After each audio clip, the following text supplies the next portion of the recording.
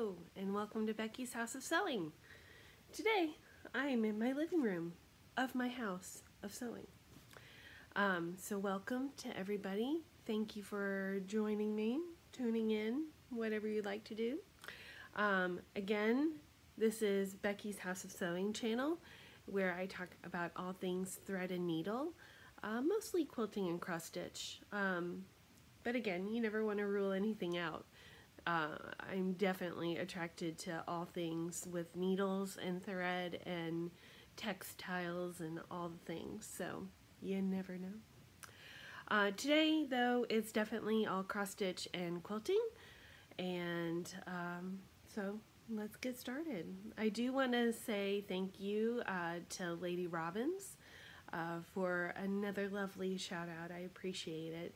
Um, I just I'm so glad I have met her um, and excited that I realized she has a floss tube as well.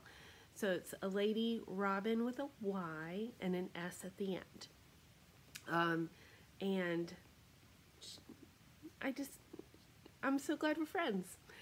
That's all I have to say. I just uh, am really looking forward to maybe one day uh, getting to meet you, Robin and uh, one day, you know, bucket list. Uh, I, I some people have a bucket list of where you want to go. I, I, have some things that some shops I'd like to go to, but uh, I definitely have a bucket list of people I want to stitch with. Robin, you're on my list. I don't know how you feel about it, but you are. So, um, today is Sunday, December 10th, 15 days to Christmas. Um, I am in Waxhaw, North Carolina, and it is a gray, rainy day, which is still bright. So it's not like um, super dark, um, but it is rainy, everything's wet, so all the colors are super saturated, which I just love. I just love um, when it rains and everything is just that richer color. Um, and I do not mind a gray day. I mind several gray days in a row. I'm definitely solar powered. Um, I hate the winter time because it's just dark all the time. And um, luckily, December 21st is the winter solstice. So I'm greatly looking forward to that because it only gets lighter from there. sure by the seconds, but I will count them down. So I'm excited that things will get lighter again. Um, you may see me petting my dog. Here's Mia. Mia! She's like, What are you doing? Who are you talking to? I just want to lay down. Um, I'm surrounded by my stitchy things. It is um, been an anxious two weeks, maybe. Um, it's been a little sad two weeks, and um, it's just how it's been. So one tries to find comfort in in crafting, and uh, I definitely have been uh, bouncing around a little bit. So uh, in order to find comfort, so nothing tragic has happened. Um, I've had a couple things. Uh, work has been hard at the container store, which curious crafters, you know I work at the container store, right? So every time you mention the container store, I'm like, I work there. Um, regardless. uh, it's been a hard couple weeks at the container store um, in my role, and not, everything's fine, but it's, it's been hard. And then uh, two weeks ago, my favorite of all favorite podcasts announced that they were only going to have two more live shows and then they were going to disband the regular podcast, not disband the community they've created, and they are certainly active women in um, in society. so they're not going away per se, but their weekly chats are. And it's a podcast. I know I don't know them, though when you listen to things, um, especially when you've listened to them for several years in a row. They really are your friends, um, and I'm gonna miss the conversation. I was really upset, and I still am. I feel myself getting a little teary. Like the Satellite Sisters is the podcast I'm talking about. If you have not listened to them in the past, they've been on air for over 20 years. They have been on NPR, ABC Radio. They've been um, on different platforms in, in the podcast form. Um, I was introduced to them through one of the sisters, uh, Liz Dolan. I found her on a business podcast, and she's had an illustrious corporate career through Nike, Oprah, National Geographic. Um, and then she kept talking about her satellite sisters, and I got listening to them and just fell in love with them. The same way that you fall in love with a community of stitchers, like where you just get together, you solve world problems, um, you're there for each other through thick and thin kind of scenario. And though they don't know what's going on in my life, we have experienced their life together. Um, it's very moving. I'm gonna cry. I'm gonna miss their weekly chats. Um, it's one of the thing, one of the podcasts that made me realize I definitely desired a female community, um, and it helped me uh, recognize by joining the Quilt Charlotte Quilters Guild and listening to this podcast, and then reviving Wednesday Stitchers, just how important that whole component in my life is. Um, women of all ages, um, all different backgrounds, all of that is important to me. Um, make me cry. so, having that go away has been hard. How do I feel that? Let's go shopping, shall we? oh, goodness. Um, so I just I I I just didn't know how to to hand. I mean, obviously, I I know enough that like you got to keep your hands working. You got to do something creative and artsy. Um, kind of continue to work through those feelings. That's all important. Brene Brown taught me a lot. Okay, I know I know the things. and you got to feel the feels. You got to you can't you can't stuff them down. You got to the only way is through uh, blah blah blah. I get it.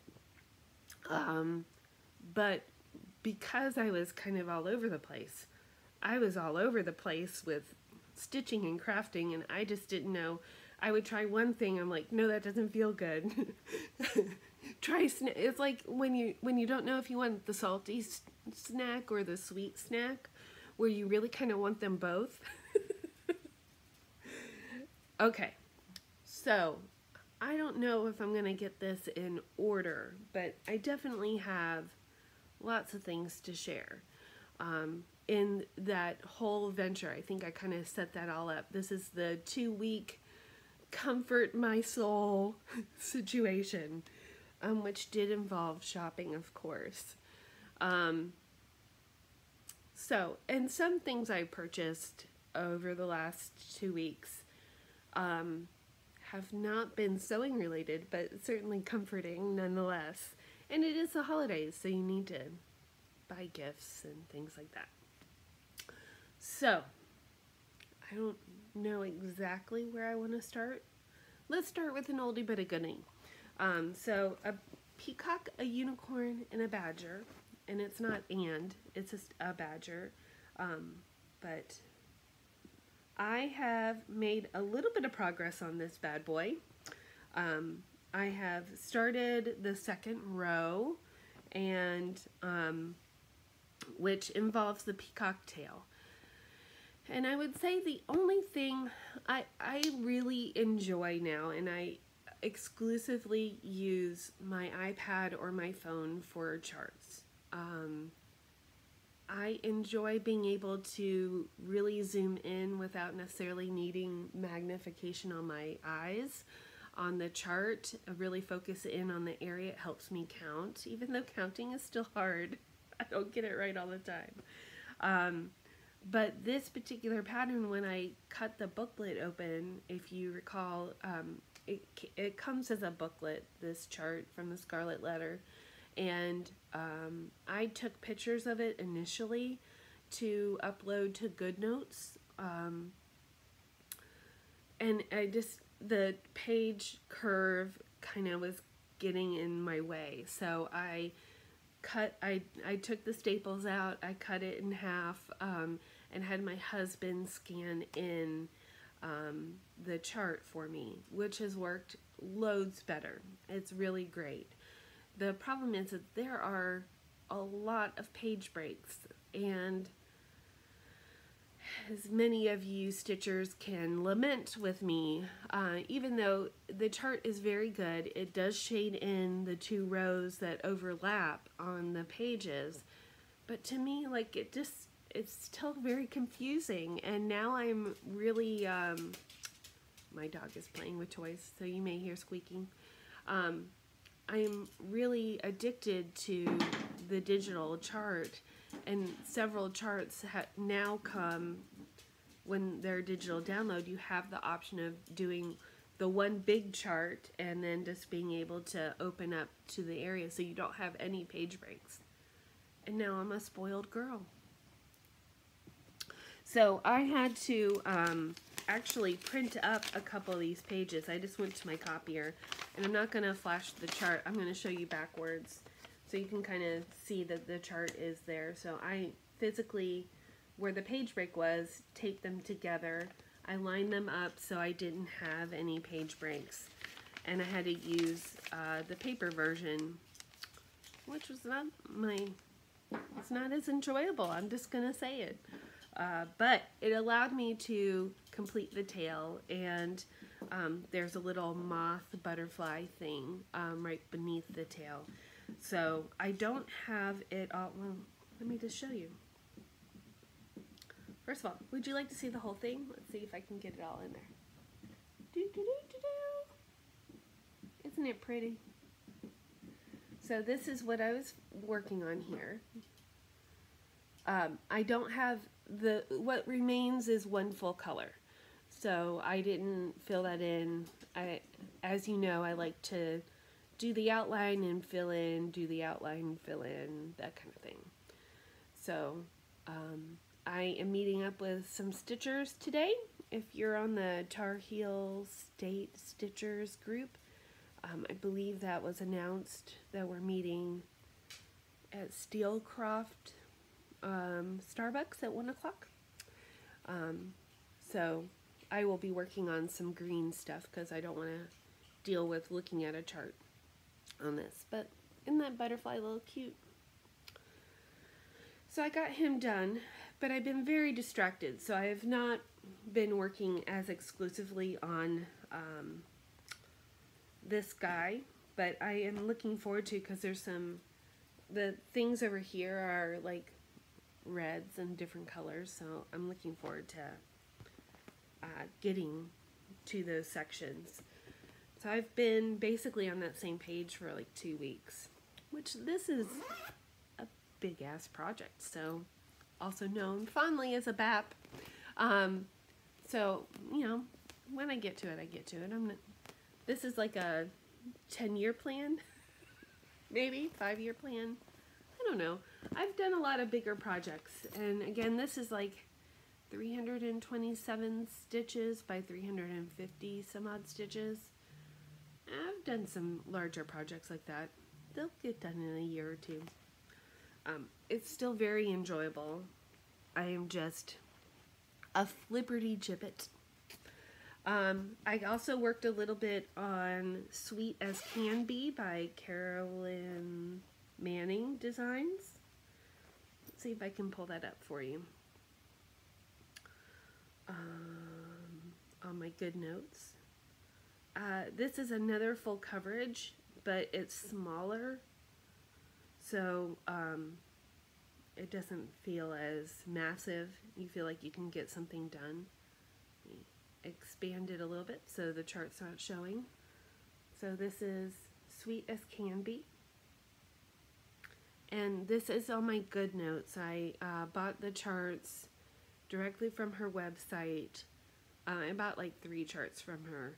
And um, what I love most about GoodNotes and has spoiled me rotten, and I'm fine with it, is that when you work on your phone and you mark things off because you can highlight where you're at, it uploads to my iPad, which I most commonly I stitch here. You can see my light here is usually on, so I have my Dazor lamp from what the 80s. Mom and Grandma bought this Dazor lamp, and it is so old. I am so grateful. It works perfectly. Um, so I have the Dazor lamp coming this way, and this light coming this way, and it's with my readers, it's like the perfect scenario. So this is where I stitch, and then I can watch my big screen TV and watch The Lord of the Rings or whatever. My teammates are texting me constantly. Somebody asks a question, and then like there's like 13 people on the text message, so there's lots of oh hi Mia, hi Mia. There's lots of people responding.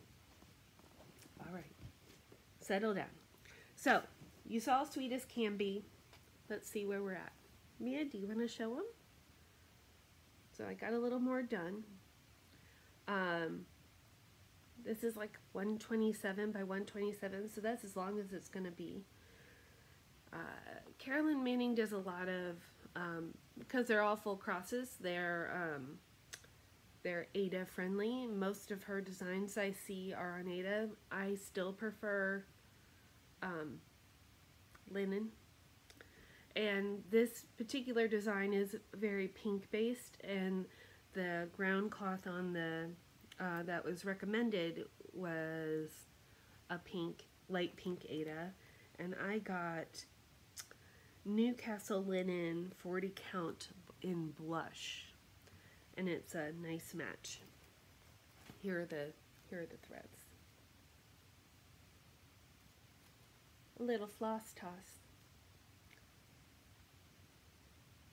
So um, I got some shopping um, got delivered yesterday, and so I was very uh, excited. And I was showing Mike M, my hubby, and uh, I was trying to show him the floss on the fabric and doing a floss toss for him. So then he pretended to do the floss toss and he, he needs some practice. But it was entertaining.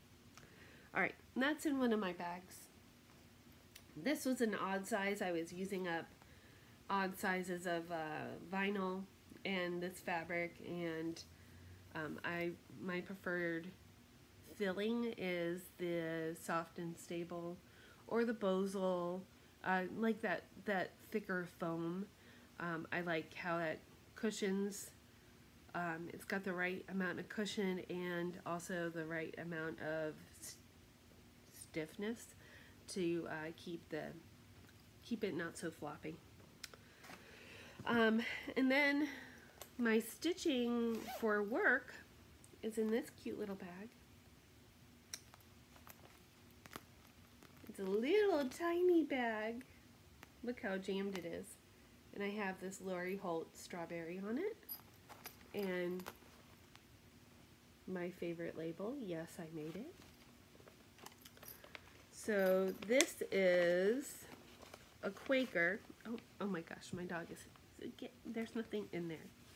No treats for you. This is the chart. And it's um, a square Quaker by Marjorie Massey this is on 40 count platinum. And again, this is my work stitch. What I stitch on my lunch break. Oh, that's the back. And that's the back. See? So exciting.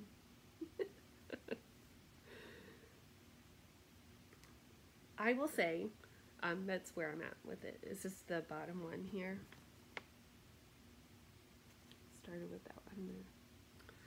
Um, I have been liberated in my stitching life. Um, I was in the camp where your back had to look all all straight up and down. And uh, there was just no two ways about it. You just had to figure that part out. Um, after re-entering uh, uh, the stitching world as I have um, during the pandemic and being introduced to floss tube um, I would say Jean Farish is um, Jean Farish Needleworks is the person I credit to relearning a lot of different techniques or flat out learning techniques.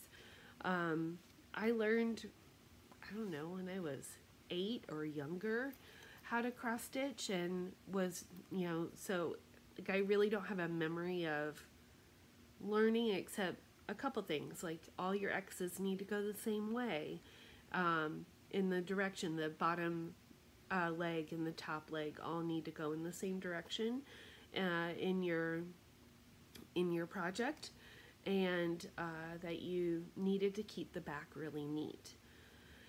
And I never really learned that there were multiple ways to make the crosses like um, there and now I'm not going to remember the names of them but I know there's English there's Danish there's one more that I can't remember um, but it's all how to make the X's, whether you do one leg all the way across and then go back or do the individual X's.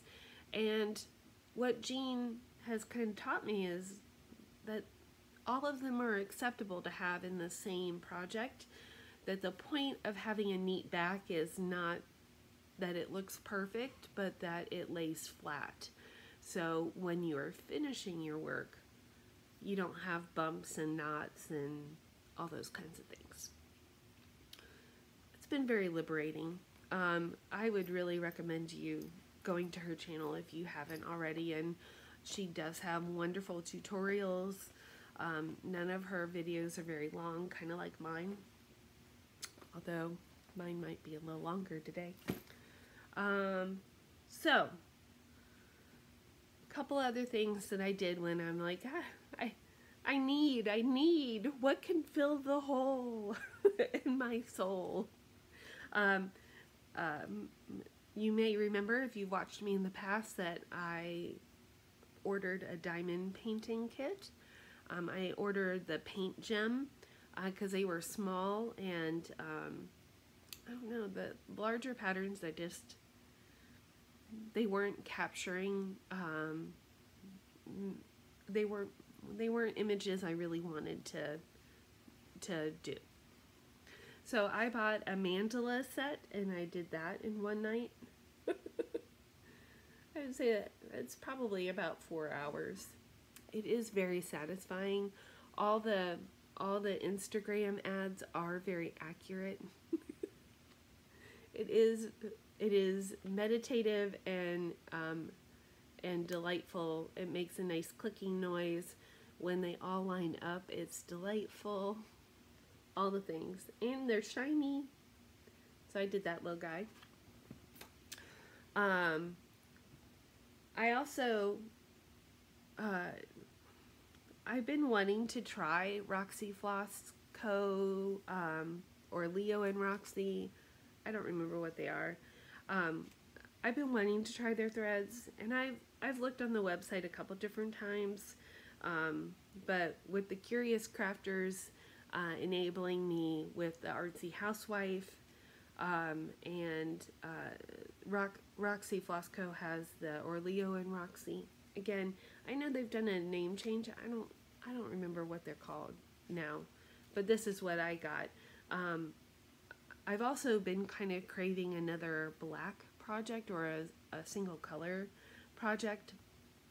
And so I've kind of just had those thoughts lingering in my head.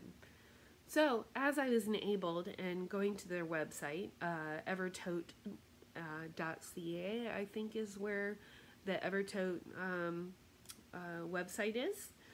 I uh, went ahead and looked at blacks, and you can see I got some blacks.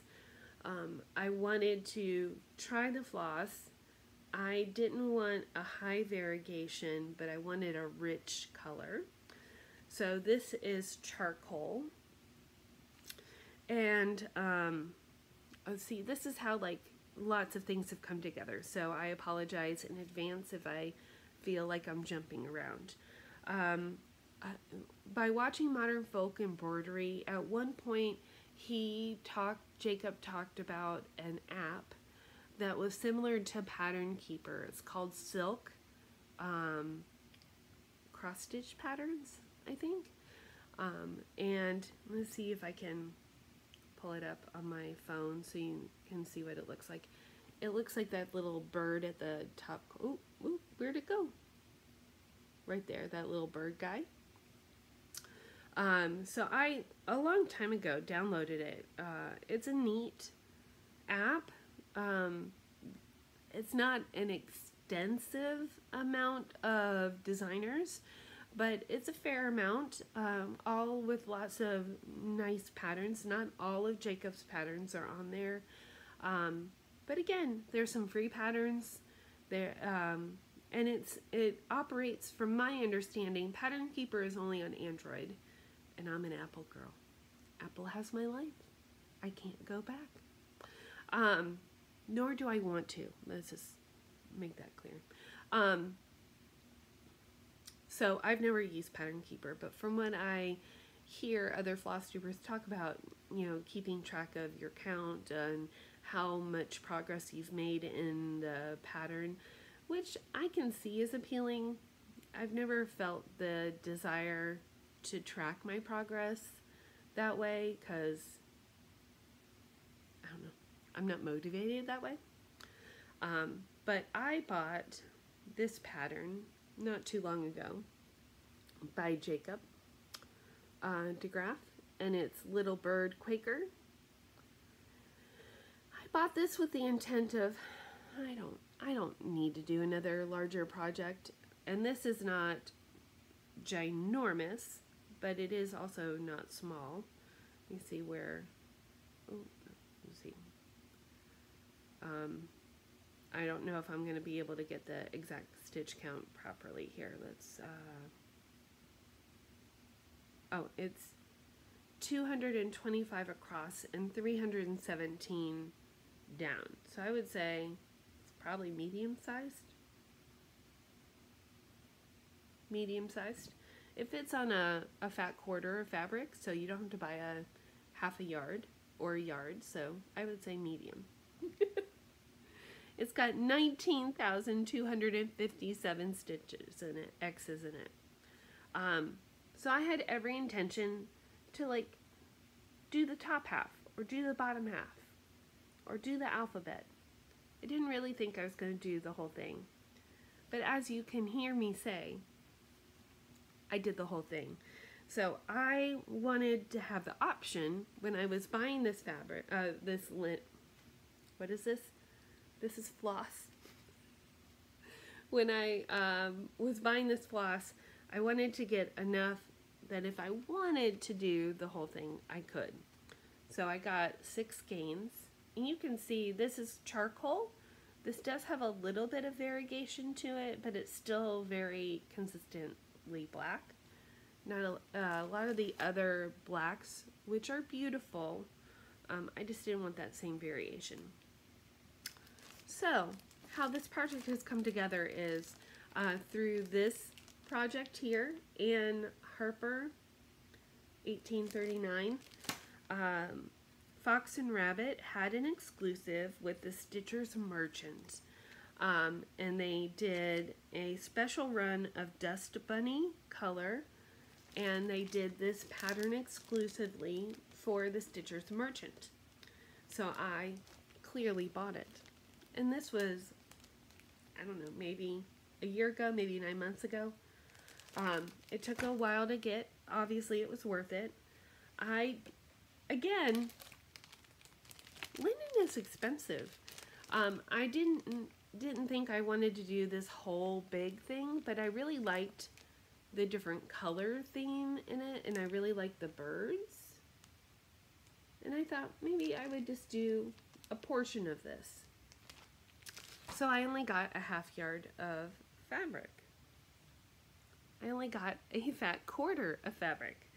And I got 40 count Dust Bunny. And you can see I have commandeered it for Little Birds Quaker. Look how pretty that is. So Dust Bunny um, is a, a great lighter neutral color. Um, it, it, does have some tan um, variation to it. I don't know if this side you can see better. It's so light um, in the modeling that I didn't think too hard about um, what side to use or where to start or anything like that. So this does fit perfectly on this fabric. And I started last night as soon as I got the fabrics out. and um, I did that amount of stitching, which is really pretty. I'm very pleased with it. So again, showing you the pattern, letting that focus. So just that upper right hand corner side. It's gonna be pretty. And it really is so relaxing to not have to look up the color and all that kind of stuff. So this project is so new, it does not have a bag yet. Um, so it is just out and about. But what I've also been, oh goodness, avalanche. See if I can rearrange this again. Um, I have also had in the back of my mind, um, I have had this quilt that I would like to make.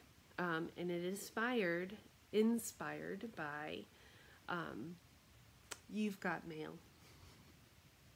a nice little rom-com with two favorite actors, Meg Ryan and Tom Hanks. Um, Meg Ryan has um, an on-point pinwheel quilt on her bed in the second half of the movie. And its back, um, which you can see a portion of it in the scene where she is sick and Tom Hanks is tucking her into bed because uh, he came to visit her because she was sick, uh, is a really delightful um, turquoise blue clamshell repetitive pattern on the back. And the front is creams and browns. And I was like, that quilt is so pretty. So I started collecting some brown fabrics and some ivory fabrics in the search of a perfect backing.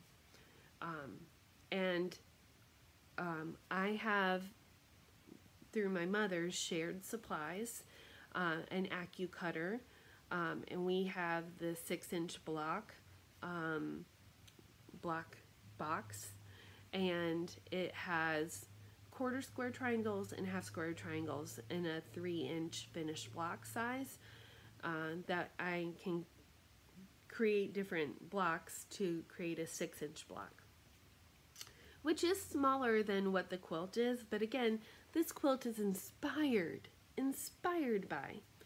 But I have had this quilt in my mind for a solid two years, and I have not found a backing that I liked, that I felt was inspired by this movie.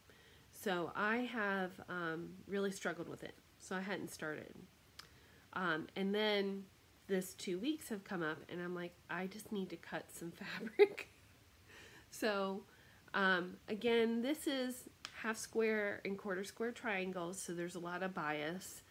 And having just done the paper piecing project with Veruska Zarati, and where I dabbled in starching my fabric, I took my pile of fabrics that I had in one of my trusty uh, sweater boxes from the container store. Um, I had my stash, just kind of put it all in one project and let it build up. Um, I went ahead and starched all the fabric on Wednesday, and then I started cutting Wednesday evening after I, you know, because I had all varying sizes. It wasn't a lot of yardage. I did have some yardage, but not all of it. And so I took some time to dream up the pattern and I wanted to show you kind of that. Uh, things I have learned from other quilters. So Pepper Cory is a very well-known quilter uh, who lives in the coast of North Carolina and uh, I have my mom has taken some classes with her she's written some books she has done some great um, shot cotton fabrics, um, which is where the warp and the weft are two different colors, creating a whole third color. Um, and when I first joined the Quilt Guild, I joined the uh, programs committee, and I had her come to our guild and have a workshop and a lecture. And in that, she recommended getting this paper an 8 by 8 grid or a 10 by 10 grid or something that would resemble the quilt blocks that you could easily divide. And uh, so, of course, I immediately office supplies and crafting supplies overlapping. My world is in, in unison. Um, so I have been practicing how I wanted this quilt to lay out. So because I wasn't quite sure. The quilt in the movie is an on point design, which for neighbor Ron, on point is where the corner is down like a diamond shape, and then there is um, uh, the pinwheels are not all in line. They are, you know, divided up by blocks of solids or really low volume um, prints. And so these are kind of my iterations of, like this is where all the quarter triangles, quarter square triangles, which if you, let me see if I can, well, quarter square triangle just makes all of these half squares smaller. Right? Yes this this here is a quarter square triangle where there's two uh, lights and two darks. That's the quarter square. And making the quarter square, you can then make the bigger pinwheel, uh, depending on if you, if you can see this right here, where the quarter square triangles show up, um, but they are making a pinwheel. So then you can see here where I was playing with making them be a lit, you know, having more lights in there to create the pinwheel more on point. Um, and then I went to this. So this is half square triangles and quarter square triangles. And if you see this highlighted square, which is how I think I'm going to um, formulate the blocks. Um, that's two quarter square triangles with one half square triangle. So that's kind of four blocks together, which will, and I know I, this is not perfect, but you get the drift.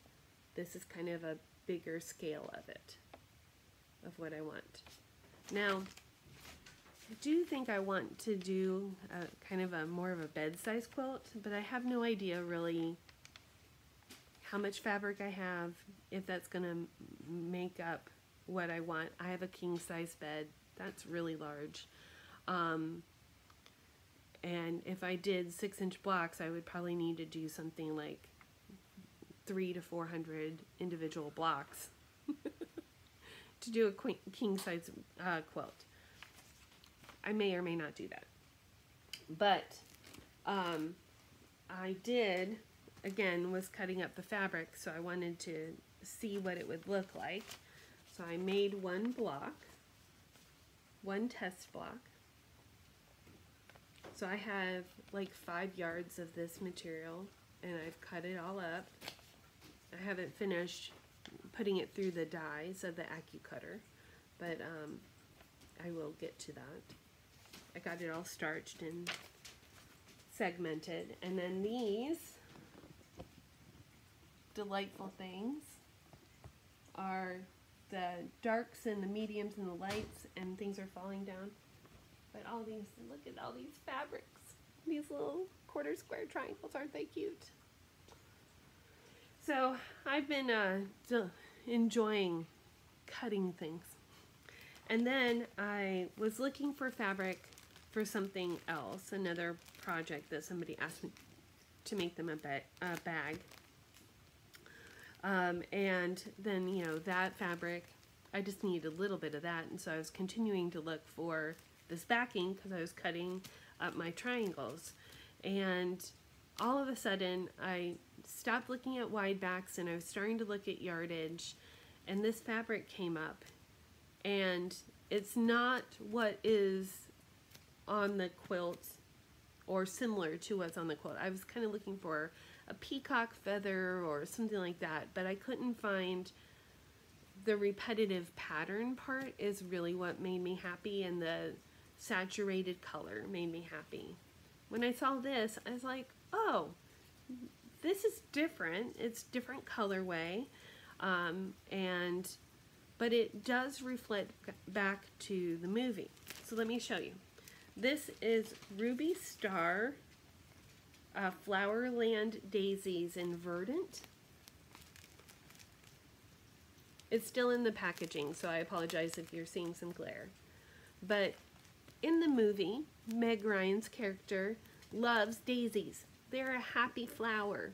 And in the scene that is inspiring me, Tom Hanks brings her daisies. So I was like, you know what? I really like this green. It is not the peacock blue colors that were, high, you know, highlighted in it, but uh, here's a different. I really like the brown with the green. Brown and green is a good color combo. Think of trees, green leaves, brown bark. So um, I kind of liked that it was a departure. And again, I had a conversation with myself. This quilt is inspired by so my pinwheels are going to be much smaller than what's on her quilt. My back is going to be much different than what's on her quilt. but is it going to be just as lovely? Yes. So, I'm very excited. This is yardage. I am going to have to piece my back together, and I will probably need some pinwheels for that portion as well. But we shall see. But isn't this lovely? Ron, what do you think? On point pinwheels, what do you think? My pinwheel is not perfect, but that's okay because I made it. Otherwise, it's pretty darn close. And that's the best part about the AccuCutter. So here's another pattern. So you can see how these corners are squared off. That means that when you're sewing, you don't have any trimming. You have a lot of trimming to do beforehand, but you can see how nicely all those dog ears are already taken care of. And let's see if you can see here. Like everything just lines up perfectly. It's blowing out a little bit, but it's just easy sewing. If you can get an accurate quarter inch seam, the AccuCutter is delightful. Um, but isn't that the way of all things in quilting? Like that quarter inch seam, you just gotta be right. And I will say that you don't have to have an accurate quarter inch seam. You just have to have an accurate consistent seam. So you can't do a scant quarter inch somewhere and then a fat quarter inch in another place. You need to have all the same consistent. Uh, that way, the same mistake is repeated all in your quilt, and then if it's not a mistake, it's just how you quilted it or how you pieced it. So I have all all that the little pattern that I made and the all the fabrics in there together. Um, like I said, I still need to cut more background out, but I think what I'm going to do, here's, because I don't want to abandon the halo quilt. What I'm going to do is I'm going to get this kind of set up so that this can be my thread bunny or the little piece of fabric that I put through when I'm uh, so that I'm not just cutting my threads. Especially in my machine, I find that when you use the thread cutter, uh, your next beginning of a seam can kind of be like a, a wad of thread on the back. Um, so if I can use another scrap piece of fabric to kind of run my needle through, then I can trim off what I'm sewing and have a, a smoother start to my next seam uh, without wasting a lot of thread. So a lot of people call it different things. Um, Kate from The Last Homely House calls it a thread bunny. Um, I enjoy that. And I have tons of them, and they become little pieces of art um, between all the different colors of thread, and then reminds me of the fabric scraps that I'm using, reminds me of, um, you know, fabrics that I liked that, I, I'm just using every little last bit of it. So I think what I'll do is, um, you know, basically make a quilt when I'm making quilt. Lori Holt does this. Bonnie Hunt, Bonnie Hunter uh, does this as well, where she's making a bonus quilt. Um, so because these are so small, I could take two two quarter square triangles and start sewing them together and be making the halo quilt while I'm doing this because the halo quilt is very hard to um, what is that term? Chain piece. It's not an easy chain piecing and there's a lot of glue basting so there's a lot of starting and stopping. So I think having this be a productive part of making the halo quilt might continue to motivate me to get the second half of that quilt top pieced so then I can piece my rows together. And I have a strong suspicion that that quilt will not be laying flat. um, I already can tell that my finished squares are not all consistent, but that's okay. I'm just going to get it done because it's a fun quilt and I love all the pieces. Um, I just need to get it done. It's one of those quilts that I enjoy looking at. Um, it's uh, got a nice amount of dopamine when the pieces line up and you get them sewn together, but the actual act of sewing them to me is not enjoyable. I think it has too many steps. Like my mother was saying at Wednesday Stitching, she said, you know, a recipe could be really good, but if it's got 15 steps or 15 different ingredients, I'm not making it. and I think that's one of those lessons that this quilt is gorgeous and it's been fun cutting it out. Um, the individual parts of components of doing it has been fun. Um, but it's also been a little bit of a slog because there is so much to do. Each little, I don't know, five and a half inch block, six inch block is uh, got like 15 pieces in it. And then you also have to glue baste it. It's not, it, there's, it's just a lot. Right, Ron? Back me up on this. Ron's doing this quilt too. and take heart, Ron.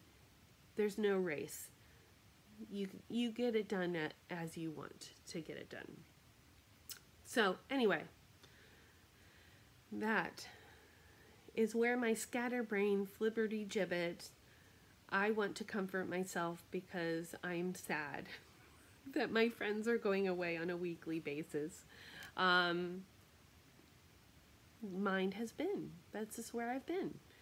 So I don't have any plans other than to continue doing what I'm doing. Um, I hope that everyone has a good holiday. I do think I'll have another episode before Christmas, but we'll we'll see. Who knows? Um, I do. I am excited that Christmas is on a Monday, which means I have Sundays and Wednesdays off. So I have an automatic weekend, two days together, which is not um, happening often in the retail world, or at least in my retail world. Um, I very much enjoy having one weekend day and one work day off because when all y'all are at work, then I can go do stuff. I don't have to be with the masses all the time. Um, but it does mean that you occasionally can feel a little disjointed because there's not a lot of time. You don't have a lot of time to recover or your your days off become so jam-packed with fun things or things you want to do, but you also don't get to just putz around the house. And quite frankly, putzing is my favorite hobby. I wish I could putz more often. anyway, I'm going to wrap up. You guys have a great couple weeks, and I'll see you soon. Bye.